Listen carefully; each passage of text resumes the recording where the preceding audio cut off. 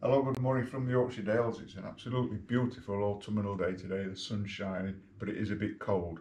And that's why today we're going to continue with our October warmers and comforters. My name's Martin Carrick and my wife Julie is operating the camera again today. Morning. We're the authors of a book called Losing It, which details how together we lost 12 stones between, between us. I lost five stones and my wife Julie lost seven stones. This recipe I'm going to do today is in this book and it's called pepper fry. It's a South Indian dish uh, which probably has its roots somewhere uh, in Portugal.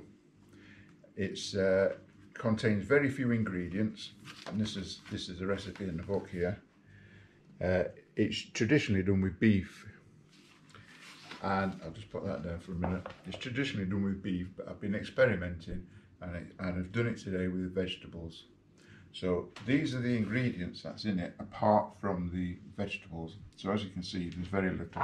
There's an onion, an onion here, uh, fresh ginger, tin of tomatoes, turmeric, pepper, which is a lot of it in. There's two teaspoons of pepper in that, and that's the only heat there is and salt. So there's no curry powder, no garlic, nothing else, that's it.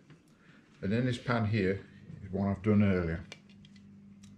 So what happens is you you saute your onion until in olive oil, coconut oil or ghee until that's nicely golden brown. And then you throw in a good sized piece of ginger, probably that, that little, that big knob there, which has all been crushed or grated. And then you put your turmeric in, which is a teaspoon of turmeric. As I say, two teaspoons of coarser ground black pepper, and that's that's what creates the heat along with the ginger. Then you put in your tin of tomatoes. At this stage, you don't put any water in it, and you actually fry that sauce until it becomes really thick, and you can start to see the oil forming in between it. Then you add your salt and your pepper, and then you add a tin of water from the tin of the tomatoes you used. And then if you're using meat, you put your beef in, which you use a kilo of beef, so it'll serve four to six people.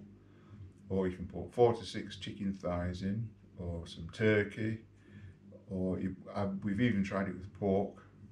But today we've, we've gone vegetarian or vegan. And in here there's a, one head of cauliflower, one head of broccoli, uh, a couple of carrots I found in the um, free, uh, fridge.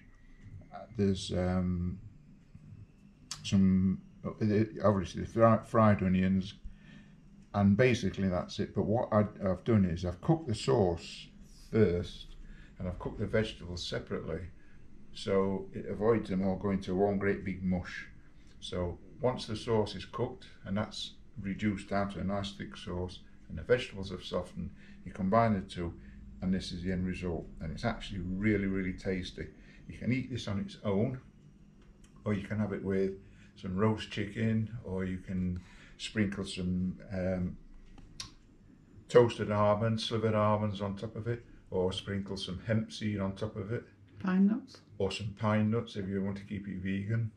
Uh, or vegetarian, you can chop up some feta cheese or some Indian cheese, paneer. paneer that's it, paneer. Uh, and that'll that'll make it vegetarian for you. But it's actually very very nice just on its own. And that's basically it. As you can see, very few ingredients, but a really really tasty dish. So anyway, if you've enjoyed what you've seen today, uh, and you want to buy one of our books, you can contact us via uh, our email address, which is juliamartinlosing at gmail.com.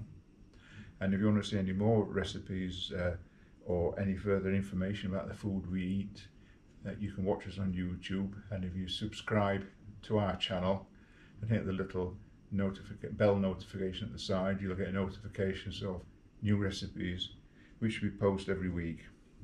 And, and that's it. Thank you very much. And goodbye for me. Bye bye.